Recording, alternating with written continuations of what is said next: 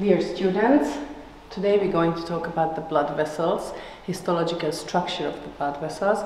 This is an extremely important topic. Of course, every topic is important, but this is uh, more important, even more important, uh, because actually everywhere we have blood vessels. Almost in every slide we have blood vessels. Out of the two slides that you're going to get in the exam, one surely contains blood vessels. So uh, you can be 100% sure that you will be asked about blood vessels.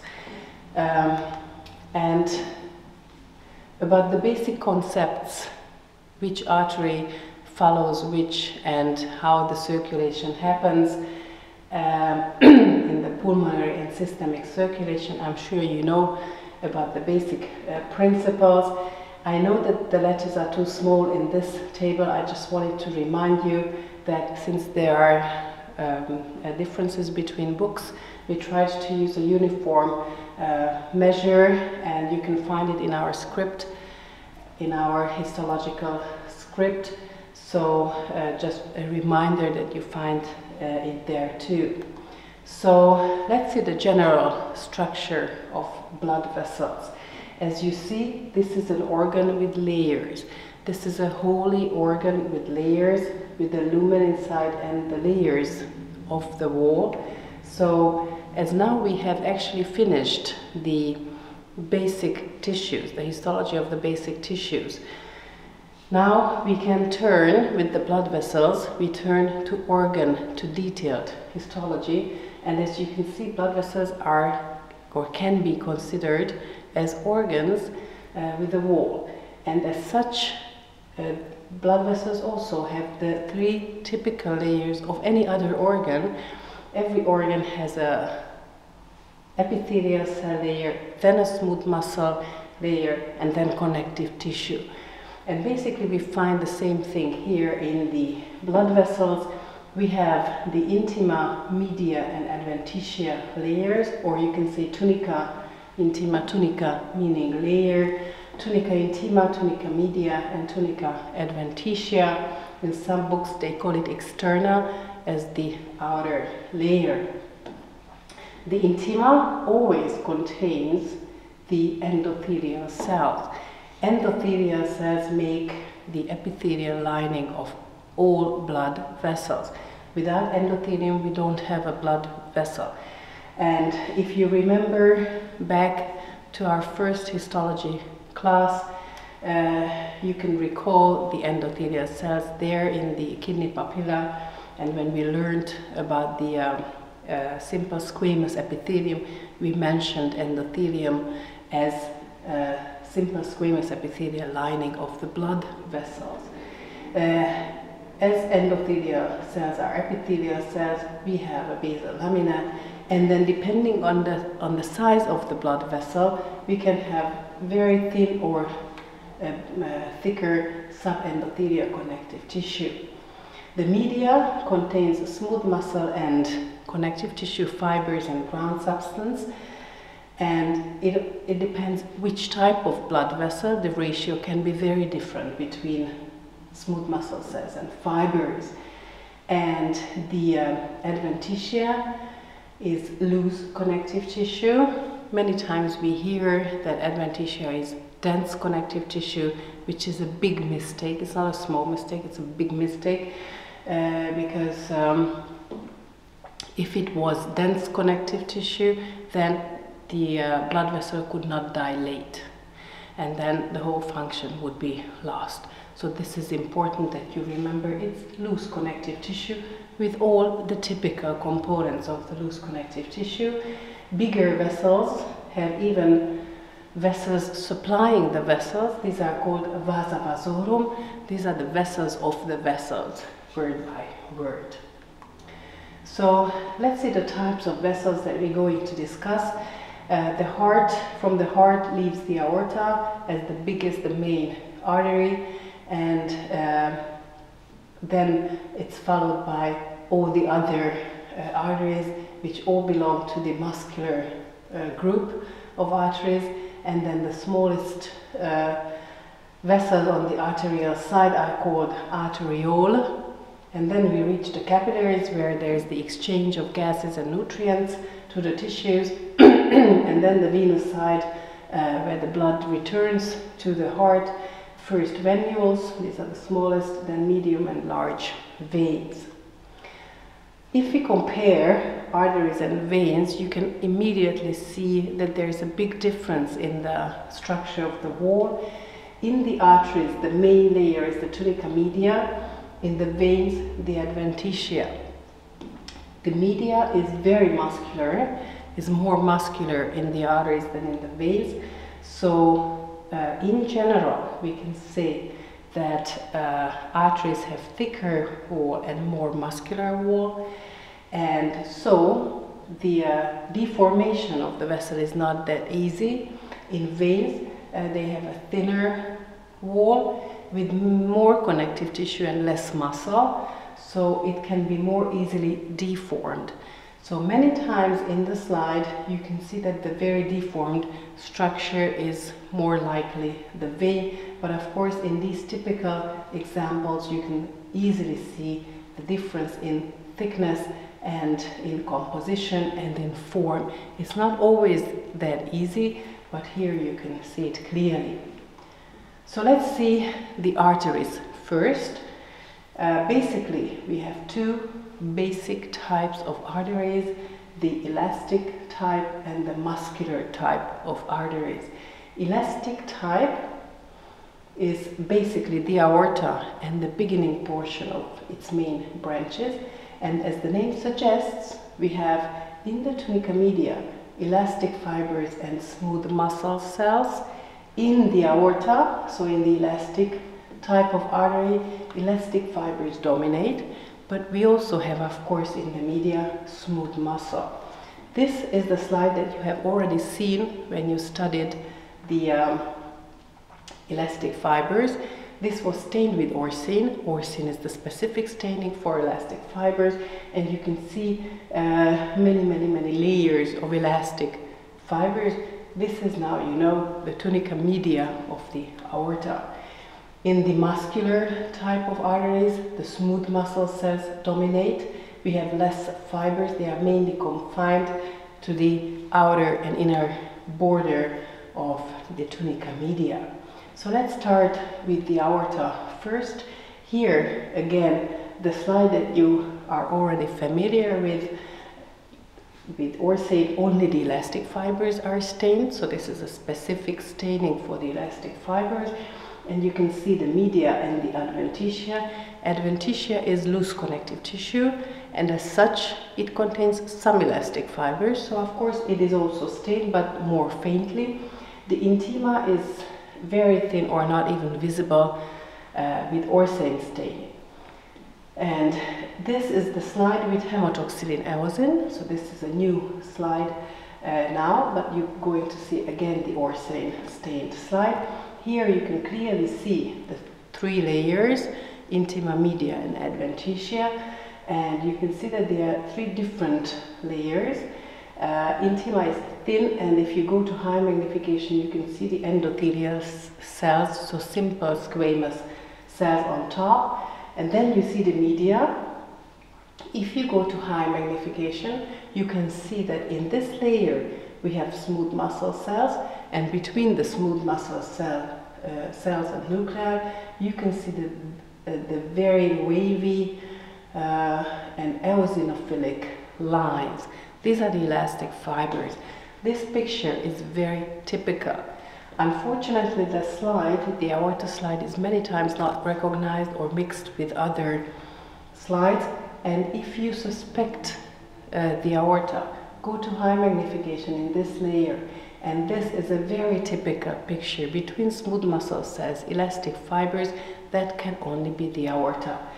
And then the adventitia is loose connective tissue. It's nothing special really you can see arteries and nerves supplying the vessel wall the arteries are called vasa vasorum as i already said the next question is how these elastic fibers are oriented organized and what is their function.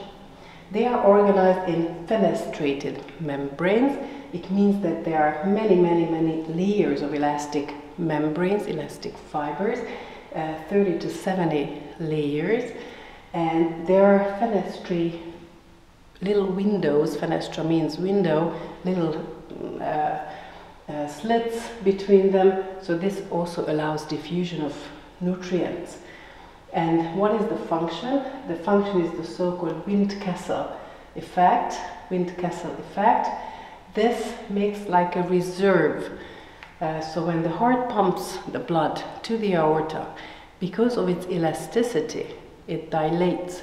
And during diastole, when there is no blood coming from the heart to the aorta, then it goes back to its original size because of its elasticity. And uh, this enables continuous blood flow. This is very important because without this mechanism, the blood supply would be uh, cyclic. But uh, because of its, uh, of its elasticity, uh, the blood flow can be continuous. So because of the elastic fibers, there is a reserve, like a Windkessel, uh, a reserve formed. This is a very important mechanism. So let's see a disease that you also heard about when you did the connective tissue fibers, Marfan syndrome, and you learned all the elastic um, symptoms because of the uh, um, too loose elastic fibers. And one of the uh, very important symptoms which can unfortunately cause death of these patients many times is exactly the aneurysm of the aorta. So because the aorta contains a lot of elastic fibers because of its structure, the disease affects the wall of the aorta as well. And then there can be these uh, sac-like uh, uh, widenings of the wall. This is called aneurysm. And of course, rupture of the aorta aneurysm can lead to uh, very severe bleedings causing death. So these patients are endangered uh, due to the aorta aneurysm. So not to mix with the uh, uh, other slides, many times unfortunately we hear this in exam that students identify the aorta slide either connective uh, tissue, dense connective tissue or smooth muscle or even cartilage and cardiac muscle. Uh, first of all, when you get this slide, uh, look at the layers, that this is a layered organ. It's part of the wall of something. And then uh, this layer, the adventitia, is nothing special, it's loose connective tissue. The main and very typical layer, what I showed you, is the media, where if you go to high magnification or you zoom in, uh, you can uh, find the smooth muscle cells and the elastic fibers, which is very, very typical. So let's go on to the next group of arteries, which is the muscular type of arteries. So we have less and less uh, fibers and more and more muscle most of the arteries belong to this group, uh, where the tunica media is the dominating layer, and that contains smooth muscle cells, very compact, so uh, near each other, and the elastic fibers are confined only to the boundaries. Intima media border, it's called internal elastic membrane. This is stronger and more and thicker and more heavily stained, of course, with orcein or with uh, eosin. It's eosinophilic. And media adventitia border with yellow arrows. Uh, it shows the uh, external elastic membrane. It's not as expressed as the internal one. This is another typical feature of the arteries. As you can see, as we go down, the uh, circulation tree. Uh, we can find uh, mid-sized and small arteries and here you can see the sizes above 10 we call it large arteries uh, mid-sized uh, 2 to 10 millimeters and small arteries 100 micrometer to 2 millimeters and in English uh, we can call these arteries also distributing arteries which helps you to remember the function. This is a very uh, common mistake in the exam when we ask, why is it good that the arteries have such a muscular wall? What is the function of this muscle in the tunica media? So the function is not to pump the blood. This is a very common mistake that we hear in the exam. It is not. It's the function of the heart to pump the blood, not of the arteries. To continue this thought, it could be that, okay, if this pumps the blood, then what happens when it relaxes? Then blood flow would stop. So, of course, it doesn't make any sense. The function is exactly the name shows you the distribution of blood. If this muscle wall relaxes, if there is vasodilation, then there is more blood flowing to that area. So the blood supply increases. If this muscle contracts, then the lumen is smaller, less blood flows to the area. And of course, through that, uh, resistance and blood pressure are regulated as well. And uh, you will hear in other subjects a lot about diseases of the blood vessels, arteriosclerosis, when the lumen gets smaller and smaller, and so the blood supply of that area is compromised. And this can, how this can be helped, uh, you will uh, learn it in detail with the balloon catheter or stents and uh, finally, we reached the last part of the arterial side, and these are the smallest of uh, this part of the tree is the arteriole. The arterioles are uh, between 10 and 100 micrometers, and co they contain one, two, or three, maximum three layers of smooth muscle cells. Here you can see the type which contains only one smooth muscle. So this is just one step before the capillaries come. And so these are called pre-capillary arterioles. You will learn in physiology in detail that these are very important uh, parts of the um, circulation in, uh, to determine peripheral resistance, to really determine what and how much blood is flowing to a certain area. And because it contains, the arteriole contains smooth muscle cells and it's very small, it cannot be easily compressed because it's very small. Uh, you can see in the slide almost always as very nice round structures. Uh, here you can see two examples. Uh, the first layer is always the endothelial cell and then the smooth muscle cell, so you can easily recognize the arterioles. And as I said already, vasodilation and vasoconstriction is the dilation and constriction of the vessels. And there are a lot of factors determining it. You will uh, learn it in physiology, pathophysiology, very much in detail later. And uh, then we go to the capillary uh, part, which is basically the root uh, con connection between arterioles and venules. But there can be in some places a direct connection between arterioles and venules, and these are called arteriovenous anastomosis. So finally, we reached the capillaries, and these are very thin walled uh, vessels where we have the exchange of gases, nutrients, so basically the supply of the tissues happens here, and it's a very profusely branching network. Uh, the most common type of capillaries is the so-called continuous capillary, which you can see in this picture showing the general features of a capillary. So of course we have endothelial cells. In most capillaries, nothing else. Uh, sometimes we find, not sometimes, many times, but not everywhere, we find pericytes, which are other cells surrounding the capillary. I will show you in a second. And of course, the endothelial cell has a basal lamina. Sometimes we find reticular fibers around, and in continuous capillaries, we have tight junction between the cells.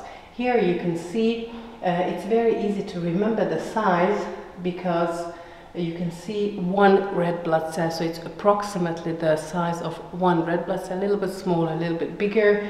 Can be that's why the 5 to 10 or 5 to 15 is easy to remember. If you see 20 red blood cells. It cannot be a normal capillary. It could be a sinusoid capillary. I will show you in a second.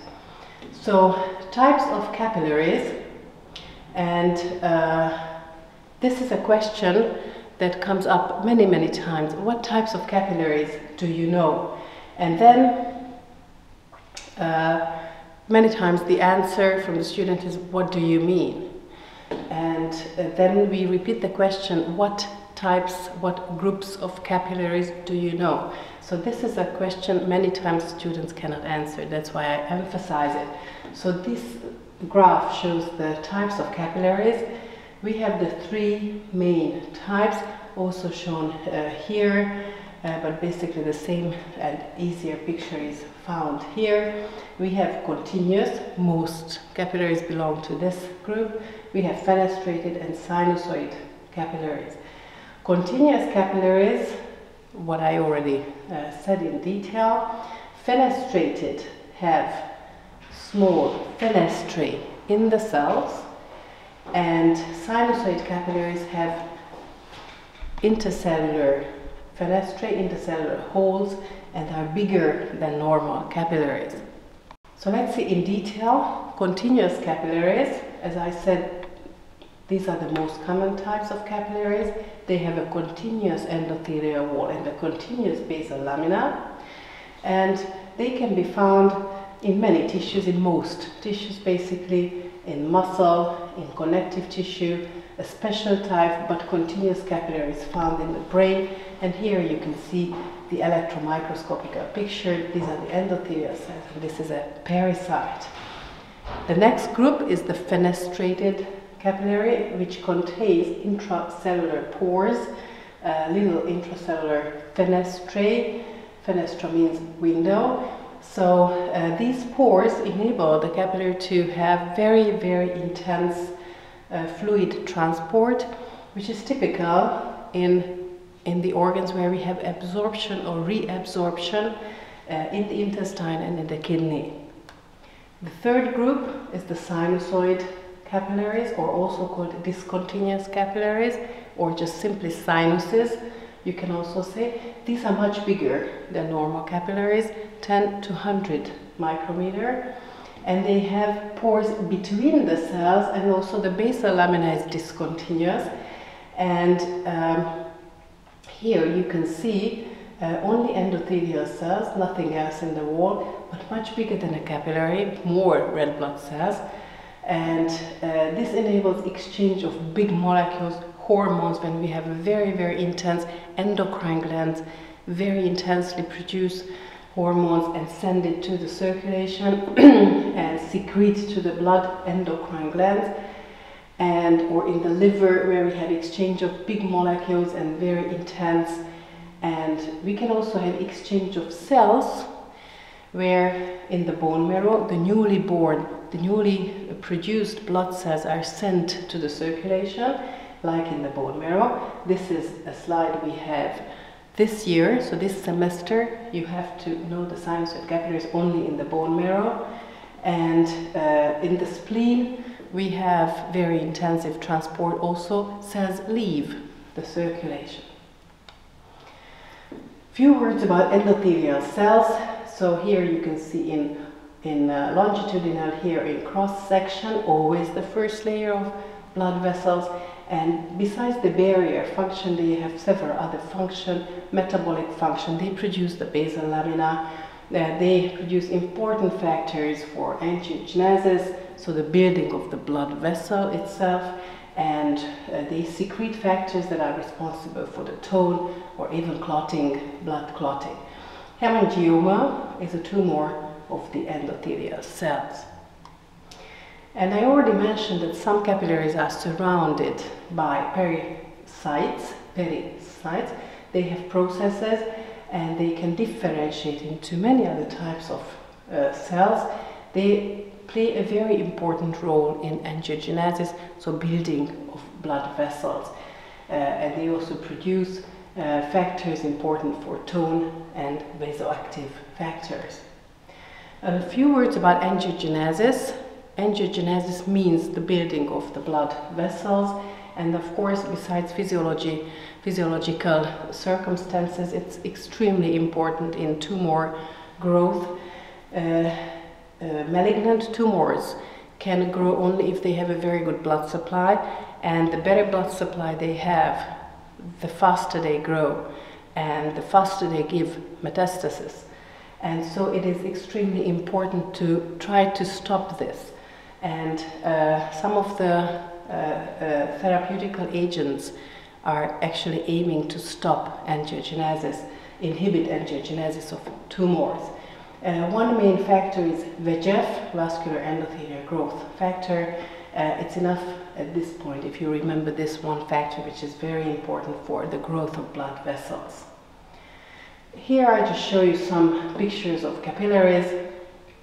Uh, this is our, from our slide of kidney papilla, uh, our first slide. And here you can see the endothelial cells, the nuclei, and some other examples. Lesions of the capillaries uh, typically cause these very small uh, point-like bleedings. So now we can go to the venous side, and here we basically have the small, very small ones called venules, and then small, mid-sized, and big veins. They are much thinner than the arteries, and uh, venules, uh, one category is the post-capillary like in the arterioles, we had the pre-capillary arteriole, just one step before the capillary. This is just one step after the capillary. It's called post-capillary venule, when there is only the endothelial cell lining, nothing else. A little bit bigger venules can be up to 100 micrometer with a little uh, connective tissue around. And um, other veins, in other veins, the main layer is the tunica adventitia. The media has smooth muscle, but less smooth muscle than in the arteries, not so densely packed uh, as in the arteries, and uh, thinner. The whole thing is thinner, and the adventitia is usually the main layer.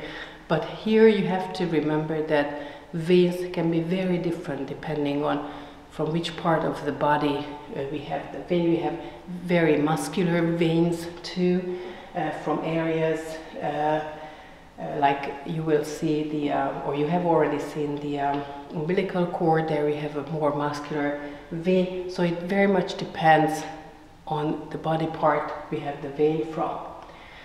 Here uh, some special features which allows continuous blood flow in the veins. You will learn in physiology that the blood pressure is very low on the vein side. So uh, to lead the blood back to the heart, especially like from the lower limb, when the veins have to act against gravity too, uh, is a very tricky thing and we can have a lot of problems from this. Uh, here you can see some features which enable the blood flow in the right direction. You can see that um, uh, veins have valves. Here you can see the valves. Many valves we have in the lower limb veins, which uh, allow blood flow only in one direction. So uh, the, here you can see valves with micros with the uh, the histological structure showing that they are made from the intima, preventing backflow. Other factors enabling blood flow, veins, especially the bigger veins, can have longitudinal smooth muscle cells in the tunica adventitia. So longitudinal smooth muscle cells allow and help uh, the blood flow. This is typical only in veins. In arteries we don't have this uh, and the skeletal muscles surrounding the vein from outside. The movement of the muscle helps pumping the blood, and the valves enable blood flow only in one direction. And the lower limb, especially the crural region, has a very, very tight fascia, which also prevents the um, uh, dilation of the veins, abnormal dilation. If these mechanisms do not function properly, then we can see that there can be abnormal dilation of the veins. Uh, this is called varicosity of the veins. Or if the blood flow is not ensured, we can have uh, blood clotting and uh, this is called venous thrombosis. Of course, one of the main sites for this is exactly the lower limb for the reasons I just told you. So here you can see a comparison again of arteries and veins and uh, you can uh, see that these are all examples where we can compare arteries and veins or an arteriole and the venule next to each other. Many times they they, they run together. So when, in many slides you can see next to each other an artery and the vein. And uh, here you can see that the artery has a nicer shape, more muscular wall, a thicker tunica intima, uh, tunica media, sorry, and a much thinner adventitia. In the vein, uh, the tunica media is thinner the wall is more deformed. It's not always like this, but in this example it's like this, or here too. And the adventitia is uh, thicker, and in the media, if we could see it with high magnification, we would see that there is less, uh, like here, less densely packed smooth muscle cells. In the artery, smooth muscle cells are very densely packed. Uh, here we have smooth muscle, of course, but not as densely packed and not so thick as the whole layer. And just a few words about lymph vessels at the end, because they are also vessels, so they also have endothelial lining, and you do not have to recognize at this point in the slide uh, the lymph vessels, but you should know that they transport extracellular fluid back to veins, and the structure is similar to the same sized veins. It's a little bit thinner even. Here you can see some uh, examples. And at the end, the big lymph ducts lead the lymph, the extracellular fluid, back to the venous system. So with this, I would like to thank you for the attention.